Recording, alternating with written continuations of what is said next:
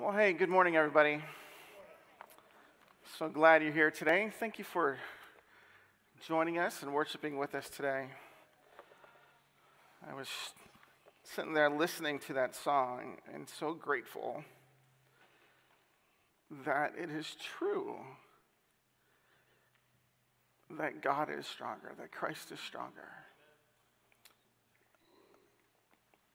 I think maybe I was struck by it more just because I think there are times in my week and in my life where I struggle with sin more often than, than I would like, certainly. And I don't have to live there. That Christ is stronger. And I can give it to Him and trust Him with it. And I'm just so grateful for that. So, what a great way to, to take us into looking at God's Word this morning. So, uh, if you have your Bibles, please open it up to 2 Timothy chapter 4. And we are going to be wrapping up our series here in Timothy uh, just next week. So, we've been in it for a couple months, and we have been studying basically Paul's charge to Timothy. Um, that really, in many ways, is, is still God's charge to all of us.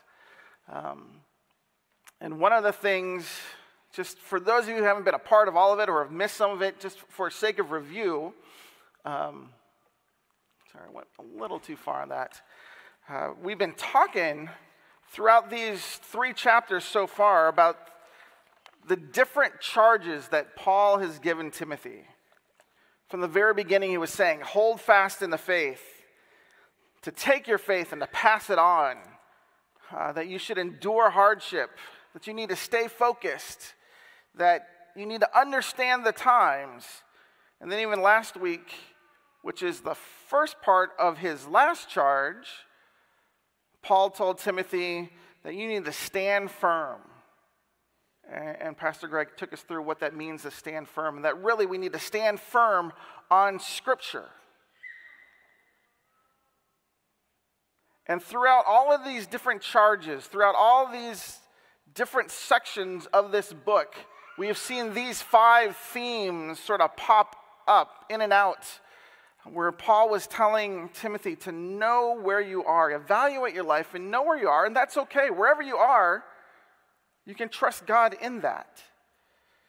That you need to put your life in the right framework. You need to understand what your, your purpose is and, and what is true to get your identity right.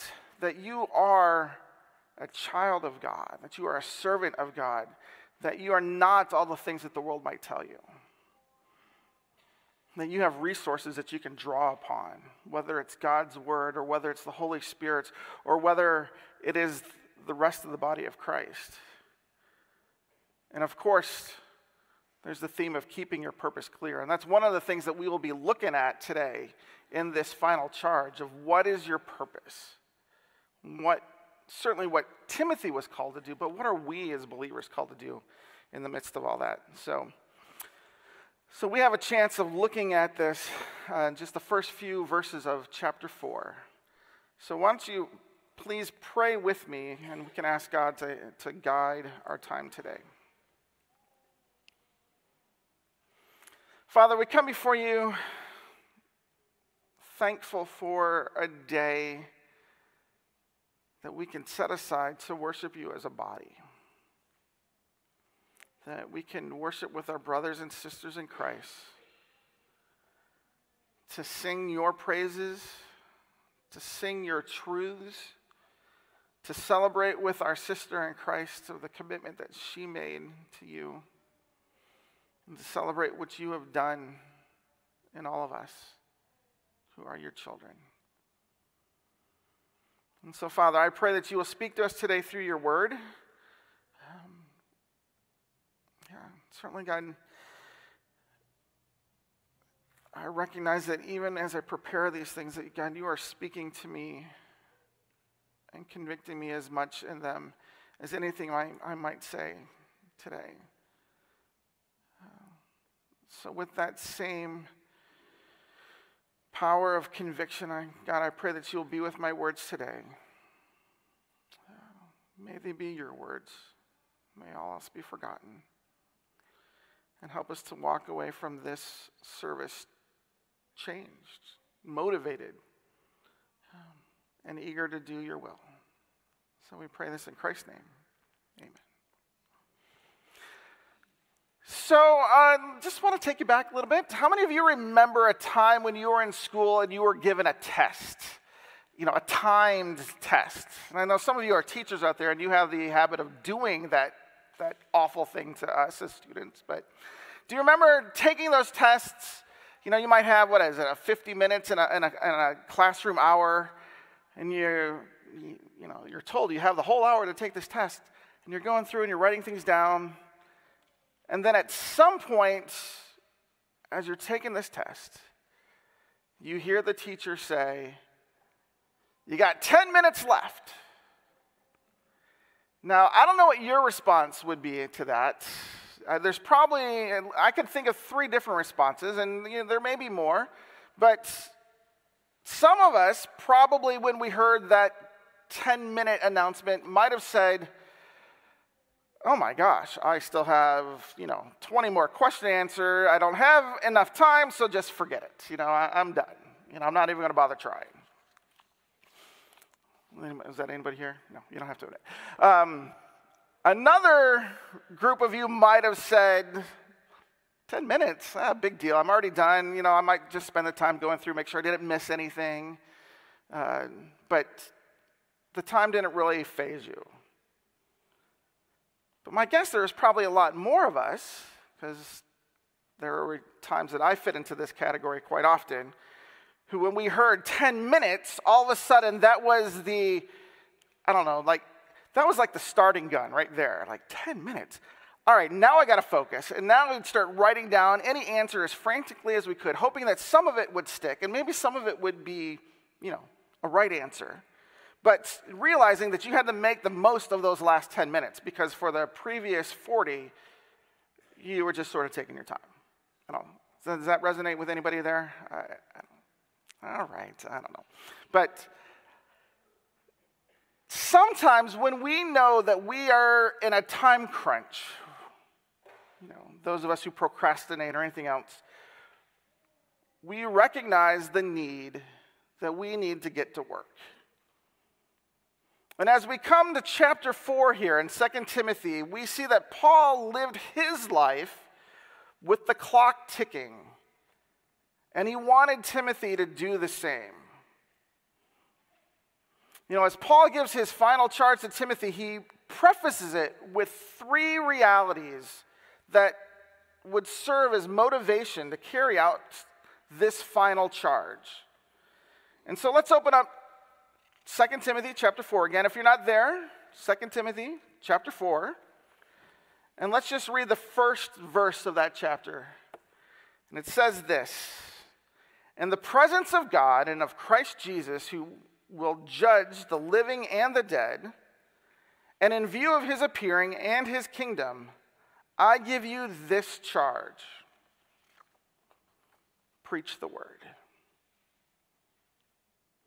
So he opens up his charge with this preface about these three realities, these three things that relate to the future that should motivate Timothy to go about doing the charge that he has just given to preach the word. And those three realities are the judgment of Christ, the return of Christ, and the kingdom of Christ. So, without question, Jesus is already enthroned as King of the world, in spite of what Jack from Titanic might say. King of the world. Um, Jesus is the King of the world, and eventually the day will come when we shall see his royal appearance. And at that time, each and every person here will be held to account for their sin and for their response and how they responded to Jesus. None of us know when that day will come, but we are all called to live each day, each and every minute, as people who are ready to give an account, to use our time wisely here on this earth with our calling and with the future in mind. Some of us may, like when we were taking a test in school, may say, The end is coming? Well, I don't know when it is. It's too hard. It, it may be too soon. We don't have enough time. Look at the mess that the world is in. There's too much to do. So we might as well just give up. Other, others of us, especially some of our older brothers and sisters in Christ, may say, I've already done my job. I'm just going to go through and make sure I have everything checked off, but there's nothing left for me to do. But hopefully, most of us, when we hear that Jesus is coming back, that he is going to judge the living and the dead, and that he is going to set up his kingdom, hopefully, most of us will respond to that by saying, All right, time is short, let's get to work. We got a job to do, and we better get it done. And that is what Paul is saying to Timothy here. Our time is short, and we have a job to do. So let's get to work and do it. So we're reminded what the future has in store for us. And that really should motivate us to live out this charge. And so Paul goes into it a little bit further what the charge is and how to go about doing it here in the next few verses. So if you're following along in your notes, that first blank that you had there was the motivation. And that motivation is the future. And the second point here is it's the charge. The charge is to preach the word. Verse 2 says this Preach the word, be prepared in season and out of season, correct, rebuke, and encourage with great patience and careful instruction. So the charge is pretty simple, it's pretty matter of fact. Timothy, preach the word. That's what I want you to do. But Paul breaks it down a little bit further in these next few verses. Uh, and and in, in saying, preach the word, he answers four pretty basic, pretty common questions. He answers what, when, how, and why. So the subpoints that you have there, if you're following along in your notes, uh, are those questions. And, and so the first subpoint is he's called to preach the word. And so the, th- the question is the basic question is preach what?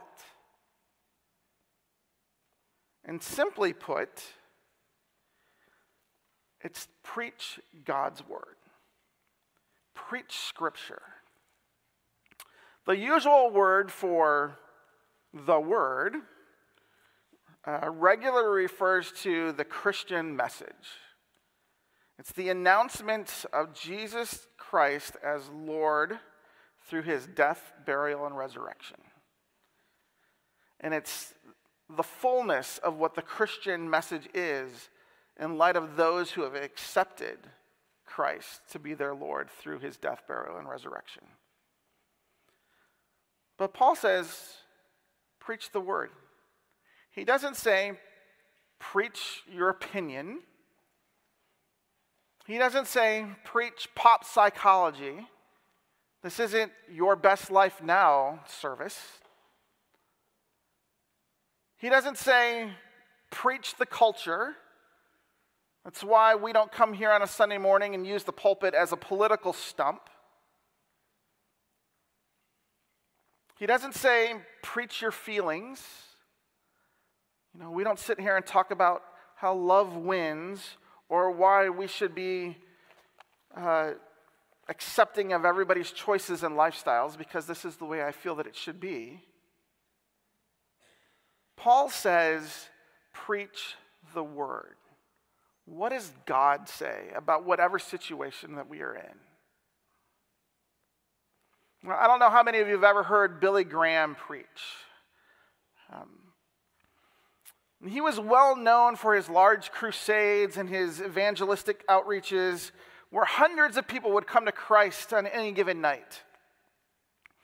But one phrase that he used to say often in his sermons was, The Bible says, and then he would go on to speak about it. The Bible says that God loves you. The Bible says how you can have peace with God. But that wasn't always the case in the way that Billy Graham preached.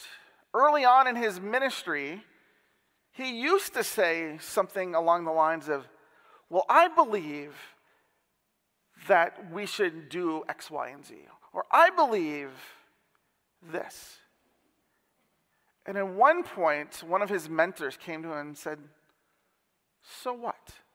Who cares what you believe? Who's Billy Graham anyway? You have no authority. What does God say about it? And Billy Graham took that advice and he incorporated that into only talking about what the Bible says on these issues. His appeal to the gospel wasn't based on the authority of his own ideas or his beliefs. He made his appeal only on the one thing that any preacher has ever had, and that is the true, inerrant, and infallible Word of God. Billy Graham's message was never his message.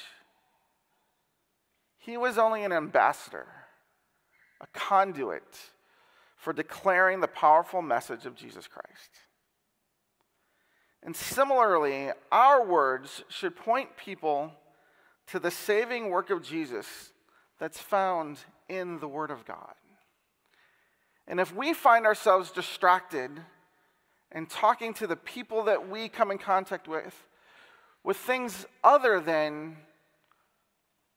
the truth that comes from God's Word, then we are missing out on the purposes that God has for us that as believers, yeah, political things are important and political things affect our daily life.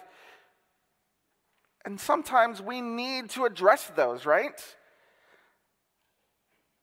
But at the same time, our emphasis, our focus, our mission is to be talking about God's word. And the only thing that is going to change our society is what Jesus can do through a changed heart. And if we're putting the emphasis in on anything else, then we are not living out our calling as believers. And so Paul tells Timothy, preach the word, nothing else. Stick to Scripture. Well, the second thing that that Paul answers in this, the second basic question is preach when? When should I preach this? And the answer to it is simple preach it in season and out of season. Preach it all the time. It's a perfect metaphor because it kind of picks up a little bit on what Jesus used a number of times when he talked about the harvest. Think of Matthew 9 or John 4, where Jesus is talking about the harvest. Or even Paul used the metaphor earlier in his writings to the church at Corinth when he said, I planted, but Apollos watered, but it was God who gave, gives growth. He used sort of this, this idea of seasons. And, and when I think of that, I think of like, the planting seasons and things. But carrying on that metaphor, Paul says to Timothy, preach the word in season and out of season. Be prepared to preach God's word all of the time. See, sometimes when we share our faith, when we preach or proclaim the gospel of somebody, it will produce fruit. It will be that harvest season. And other times, it won't. Those are the times when you might just be planting seeds or you might just be watering seeds that somebody else planted. But you may not even know what season you're in when it comes to a person. But we need to preach all the time. Of course, the way that I just said it there, that's looking at this phrase from the perspective of the person hearing, you know, whether they are ripe and ready for harvest or whether they are just a fresh field that needs to be tilled up and planted in.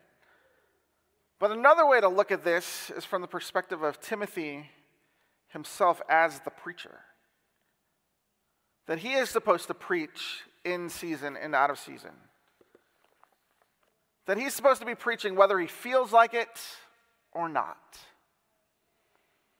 He's supposed to preach whether his message is going to be popular or not. He needs to preach it whether the message is going to be received or not.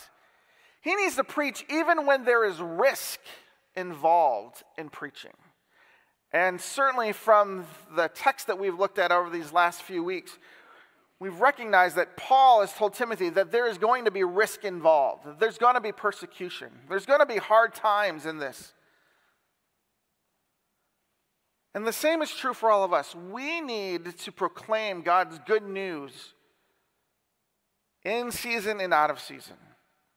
Whether we feel like it or not, whether there is risk or not, whether there's persecution, whether there's risk to our reputation. You know, certainly in this culture, we might be talking about something that the Bible says, and the response almost guaranteed these days is going to be, well, you're just too narrow minded, or, or you're something phobic, whatever it may be, whatever it is of that day, transphobic or homophobic or whatever, because we might be talking about something that the Bible says about something. And so sometimes those things keep us from preaching God's word. But if we remember back in chapter 1, Paul says, Join with me in suffering in the gospel. And just a few verses down there in, in chapter 1, Paul says this And it's of this gospel that I was appointed a herald and an apostle and a teacher. And that is why I am suffering. That the suffering became, came because he was a herald of the gospel.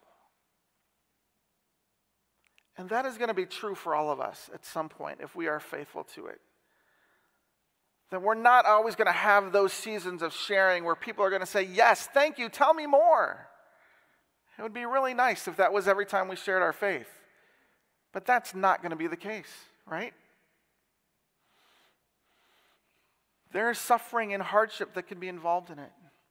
And sometimes that is the season, the difficult season, the out of season that we are called to do because it's and sometimes we just we find it hard and i'm like yeah you know i'll i'll share it when i know i'm going to have a receptive audience. When it's in season.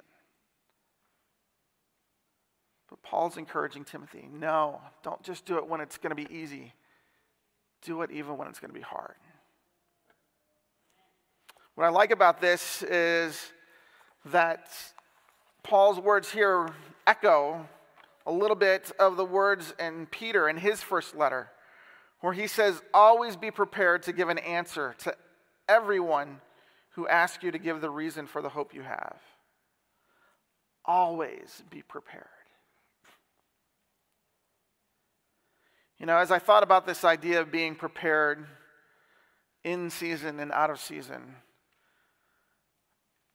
I recognize, at least in my own life, one of the reasons why I don't share my faith as often as I would like to, one of those out of season times, could be those times when I am struggling with my own faith. when things aren't making sense to me, when God seems a little distant and I don't understand what's going on, or my feelings about what I believe don't match up with the reality that I know to be true. And so I struggle sometimes in sharing my faith and being faithful to do it in those out of season times. And one of the verses that has always encouraged me to go forward and to do that is in Philemon, that's verse 6. Which, there we go. And Philemon's a small little letter, a small little book, one chapter. But in verse 6, taken out of the NIV, it says, I pray that you may be active in sharing your faith so that you will have a full understanding of every good thing we have in Christ. You know, one of the reasons to preach the word, even when it's out of season, is that it helps you get a better understanding of the good things that we have in Christ. Often, when we tell others about Jesus, the person who needs to hear the gospel message is you, the speaker. Somehow the Holy Spirit uses that moment to reinforce the things that we say we believe. You know, there have been times when I've shared my faith with someone and there have been two conversations going on. The first one is the, the words that are coming out of my mouth to the person that I'm talking to. And the other conversation is the one that's going on in my head between me and God, or maybe sometimes just from God to me, or sometimes just to me and myself. I, I don't know. Hopefully, those two conversations don't get confused, because if the person hearing it, they'd be really confused what's going on in my head. But anyway, sometimes I'm sharing my faith, and there are these two conversations going on. And it might go something like, you know, God loves you. And he desires to have a relationship with you. He created you to have a relationship with him. Those would be the words that are coming out of my mouth. But inside my head, I'm saying, I don't know, God. I don't feel very lovable right now. Do you really love me? And as I talk about the gospel, it gets reinforced that he does love me, that he does love me enough that he sent Jesus to die for me too. You know, as I'm sharing my faith and I talk about how sin might separate me from God, and that there's nothing I could do to earn God's favor, or that nothing that this person that I'm sharing the gospel with can do to earn God's favor. I might be having the conversation in my own head of saying, but God, I've been trying really hard, and why is this not working? Like, and God's telling me, you don't need to work harder for me to love you anymore. You can't earn my favor. And these conversations are going on. And sometimes when we share our faith, like I said, the Holy Spirit uses that conversation of just talking about what Jesus has done for that person that we are reminded once again what Jesus did for us. And we need to hear that. We need to speak the gospel to each other just as much as we need to speak it to somebody who's never heard it before. I love that hymn of I love to tell the story for those who know it best, seem hungering and thirsty like the rest. I don't know, that's not all the exact lyrics of it, but we need not just to share our faith because others need to hear it, but we need to share our faith too because we need to hear it. So he answers the question of what, he answers the question then of when, and the third thing he answers here is how. How should he preach the gospel? Continuing, on there in verse 2, he says, correct, rebuke, and encourage with great patience and careful instruction. You know, we can't be a one trick pony when it comes to the things that we say about God. We can't be a church or an individual who only emphasizes God's love all the time. And certainly, God does love us all the time. But if we were a church that only talked about God's love, we'd be missing out on the fullness that Scripture has for us. We can't be a church that only talks about the effects of sin in our life or the effects of sin in our community, whether that's abortion or the breakdown of the family, or whether it's human sexuality, or whether it's issues of injustice or things like that. We need to talk about those things and how Scripture speaks into them, but those can't be the only things that we talk about. Because Scripture does so many things for us. It corrects us, it moves us from going in one direction into the right direction. Sometimes it does just, it gives us that rebuke that we need to say, no, that is not right. And we need to hear that. But we also need to hear scripture at times that, that encourages us. It's saying that that the things that we are doing, our labor in the Lord is not in vain.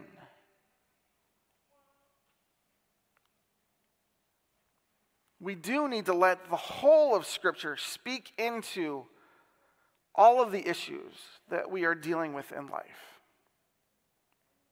To let Scripture do those things, to correct, rebuke, encourage. And we need to do it from up front and with each other with patience and with instruction. I don't know how many times that even as a, as a parent, you know, I will tell my kid they have to do this. You know, in the analogy, that's me laying down the, the, the law, of the scripture of Steve to my kids.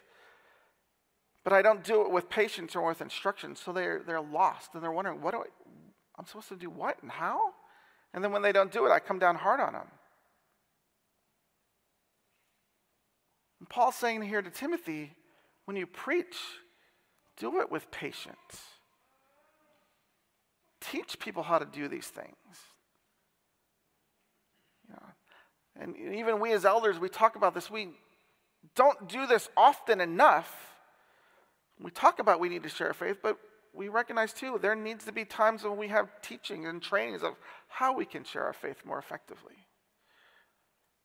It would be wrong for us to be sitting up here of, oh, you have to do this, and not do it with the instruction of, of how to actually do it.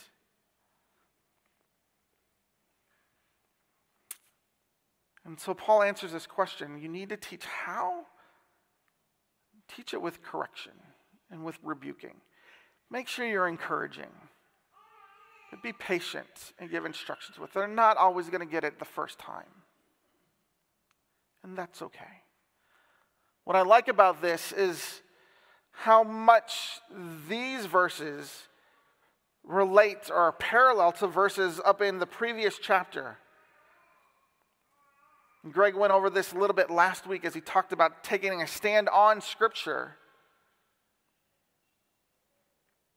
But he said this about what Scripture does. There in 2 Timothy 3:16 it says that all scripture is breathed out by God, is God breathed and is useful for teaching, for rebuking, for correcting and training in righteousness. All those same concepts of what scripture is and what scripture is good for are the same concepts that Timothy is supposed to be using in his preaching.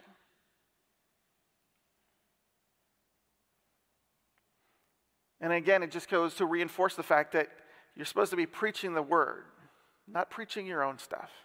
Preach the word because the word is good for all these things correcting, rebuking, for encouragement.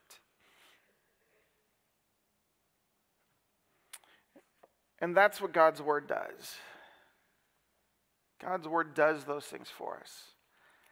And so when we are speaking to each other, when you're hearing it from up front, Hopefully, those are the things that you're hearing. Those are the things that you're saying to one another. You're using Scripture to encourage someone. You're using Scripture to say, no, maybe we need to make some corrections here. We're not using Scripture as a weapon, we're not using it to beat somebody over the head.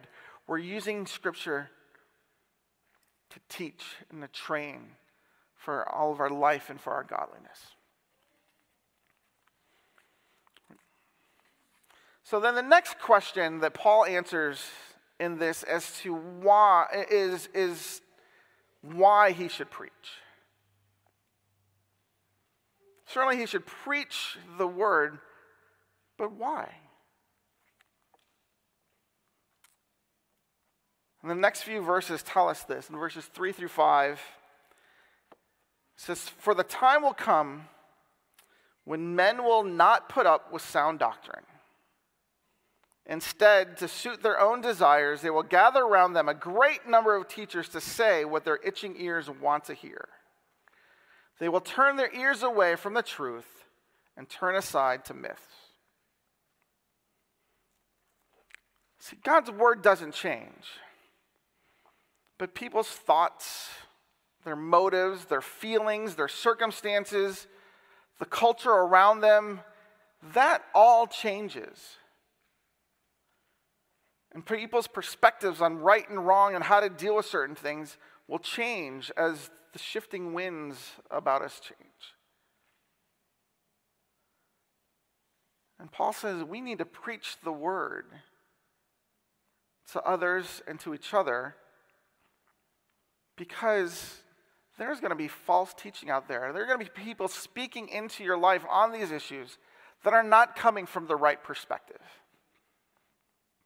I mean, reading these verses, I feel like we're reading something straight out of the news in terms of you know, how our, our culture has gone about answering questions of things.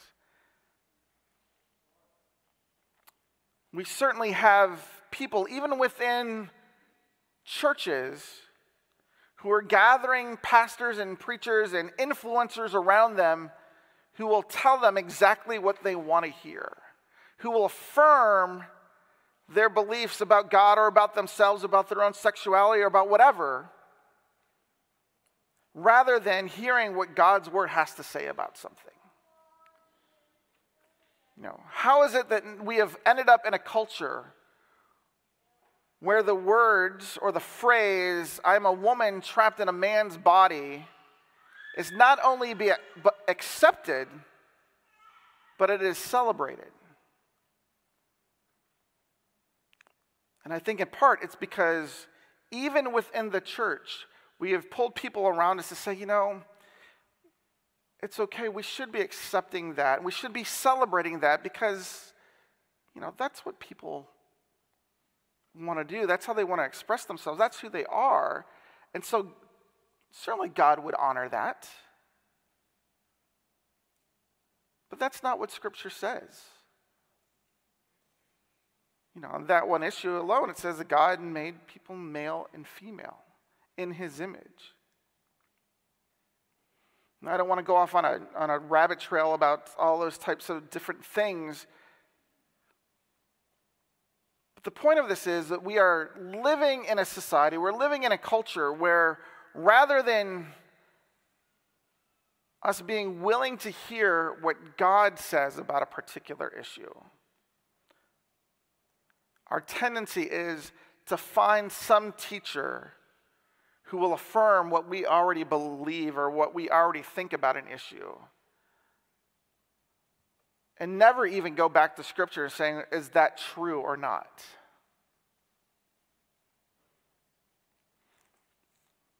And even the best of us do that. Like, I found myself, you know, I, you know, there's something that intuitively I, I think one way about it. And rather than necessarily going to Scripture and studying that and pulling out the truth, I'll find a, a, a popular speaker or author, somebody who will affirm that,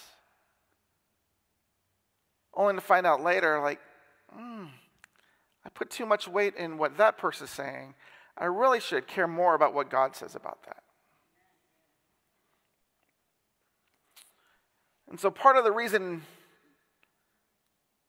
Paul tells Timothy to preach the word is you need to combat false doctrine. Well, there are a few other reasons as to why he needed to preach the word. And the second one is to equip believers. And you find uh, some evidence of that up in chapter 3 again, verse uh, 17 of chapter 3, where he said, All scripture is God breathed and is useful for teaching, rebuking, correcting, and training in righteousness, so that the man of God may be thoroughly equipped for every good work. When we teach God's word, that prepares us to do the things that God has called us to do. You are equipped to know how to handle a particular situation. You are equipped to know how to talk about issues of faith and godliness. We are equipped to know how we should forgive or how we should love or how we should do all that He has called us to do. And so, one of the reasons we teach God's Word is so that you and I are prepared to go out into the world and do the entire work of the ministry. And so we are called, the, the reason why he is called to preach is to combat false doctrine, to equip believers. And the third why is to pass the baton. Now, a lot of you, hopefully, most of you picked up a baton as you walked in the door. I'm not going to tell you all about it just yet, but I'll give you a hint. You know, obviously, this is a little bit of a hint as to what it's for. But one of the reasons why Paul wanted Timothy to preach the word is that he was ready to pass the baton. If you read verses 6 and 7 here, it says, For I am already being poured out like a drink offering. And the time has come for my departure. I have fought the good fight. I have finished the race. I have kept the faith. Paul has finished his leg of the race that he is in. And he's saying, It's time for me to go. And it's time for you, Timothy, to pick up the baton and keep going.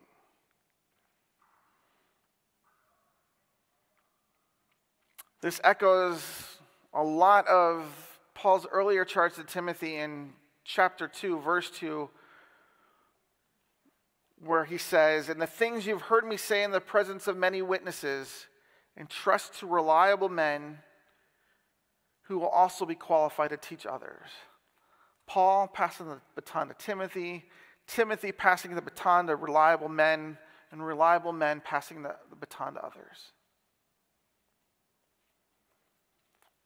That the reason we share our faith, one of the reasons we share our faith, is because we need to pass that baton to keep it going. We all are here in this room because somebody, metaphorically, passed the baton of the gospel to us. It might have been a mom or a dad or a spouse or a pastor or a friend in college or a coach or somebody else who gave you the baton of faith. But we preach the word so that we can not hold on the baton ourselves and keep it, but so that we can pass it on to somebody else. And I'm going to close with this, at least for now is that the fourth why Timothy should preach the word is to anticipate the reward. Now, I want to be clear we don't do it for the reward. Our reward is not our motivation completely. And the crown of righteousness isn't tied exclusively to those who preach, but the reward comes to those who are faithful. Paul says here, Now there is in store for me the crown of righteousness, which the Lord, the righteous judge, will award me on that day. And not only me, but also all those who have longed for his appearing. So he echoes back what he said there in verse 1 as his motivation for Christ's return, for Christ's judgment. But he's also saying that, that God is going to to reward us. For those of us who are faithful, for those who serve Him faithfully, anticipating His return. And so it's God's promise to reward those who are faithful here. And I pray that all of us would live and serve with the end in mind knowing that someday Jesus is going to come back. He is going to judge each of us for what we did in this life. And He is going to set up His kingdom here. And those who are faithful, He promises reward. And so, this charge that Paul gives to Timothy is a charge to all of us to preach the word, to do it in season and out of season. Because there will be a time when people aren't going to hear it, and we need to do it because time is short. The end is near. We have 10 minutes left as I look at the clock. So, so I'm going to end there. We're going to come up with a song, and then before we leave, I want to close us with one final charge. So pray with me. Father, we love you and we thank you that you love us. And I pray for each and every one of us that we would live fully with this idea, remembering that the time is short, the end is near, and that we need to get to work. So, God, help us. Use us. In your son's name, sake. Amen. Well, as we get ready to leave, you can all pull out your baton.